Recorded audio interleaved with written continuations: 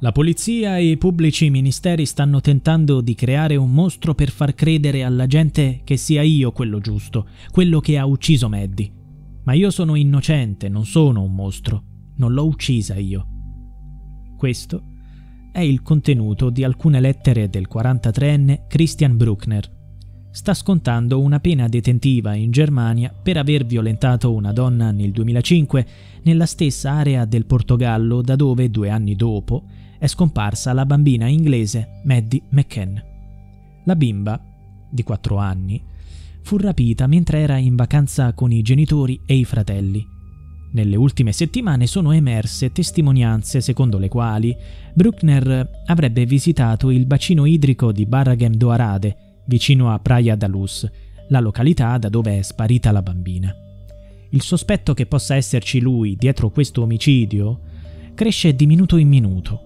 La polizia portoghese sta coordinando le ricerche sia in quella zona che in quelle limitrofe, su richiesta della polizia tedesca. Anche la polizia britannica sta collaborando alle indagini. La perquisizione del lago e della diga è stato richiesto dalla polizia tedesca perché il principale sospettato aveva visitato spesso la zona tra il 2000 e il 2017. Lui viveva vicino alla località turistica di Praia da Luz, proprio quando la famiglia McCann era lì in vacanza. È una coincidenza? I risultati degli esami dei reperti sequestrati, tra cui i reggiseni e altri indumenti, saranno resi noti a breve. Ma non è tutto. Negli ultimi giorni sono stati rinvenuti altri oggetti di interesse per le indagini. Sono stati inviati in Germania per essere analizzati. Sono stati prelevati anche campioni di terreno che sono stati confrontati con il veicolo del sospettato per dimostrare la sua presenza in quei luoghi. Gli investigatori hanno annunciato di essere in possesso di fotografie che ritraggono Bruckner in quella zona. Ma c'è un'altra notizia è emerso il ritrovamento di un inquietante altarino nei pressi del bacino idrico di Barraghem nel 2007. Un'anziana coppia di turisti, all'epoca, aveva inviato agli inquirenti una foto che mostrava un cerchio di pietre con sopra l'immagine di Maddie, che era scomparsa da poco. Accanto ad esso era stato posto un mazzo di gigli bianchi. I due turisti, sessantenni, non ebbero risposta perché la polizia portoghese nel 2007 non indagò su questa segnalazione.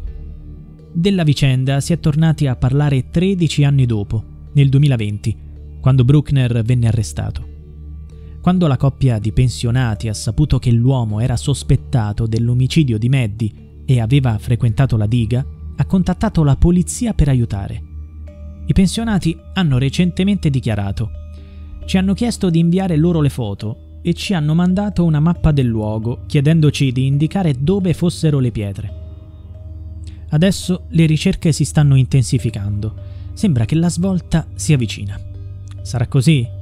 Bruckner, dalla sua cella, nega qualsiasi coinvolgimento nella scomparsa della bimba. Non ha potuto negare di aver visitato il bacino idrico in cui adesso si stanno intensificando le ricerche. La scomparsa di Maddie McCann è avvenuta il 3 maggio del 2007.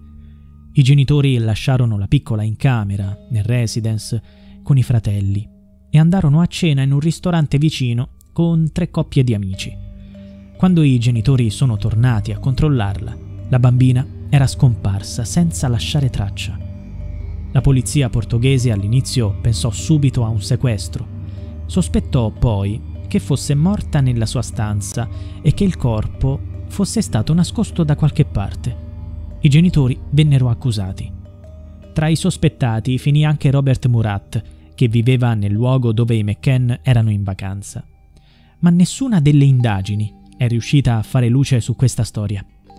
Sono state ricevute centinaia di segnalazioni da tutto il mondo, ma tutte si sono concluse senza esito.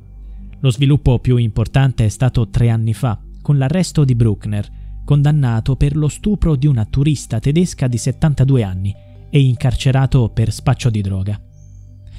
Ha numerose condanne per pedofilia, pedopornografia, furto e altri crimini. A questi si potrebbe aggiungere un reato terribile, il brutale omicidio di una bambina di 4 anni.